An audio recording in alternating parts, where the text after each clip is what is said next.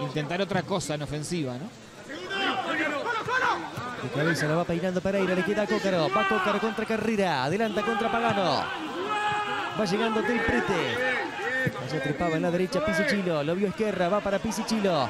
A la carga viene Torque. El enganche contra Rodríguez. Viene el centro. Entraba Cócaro. Rebote va.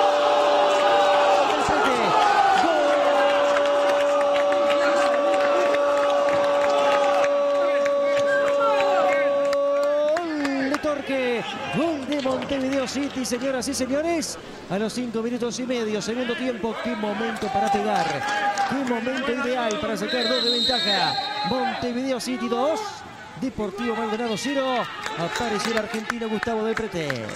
Si alguien le dijo en el entretiempo del prete, seguí así que alguna te va a quedar para convertir. Digo por lo hecho en el final de la primera parte, le embocó. Aquí está. La tercera fue la vencida para el argentino. Definió muy bien. Del prete, golpe duro para el Depo. Había hecho cambios. El equipo Fernandino buscándole algo más al 11. El técnico paladino del prete mete un balde de agua. Si falta agua, no nos falta.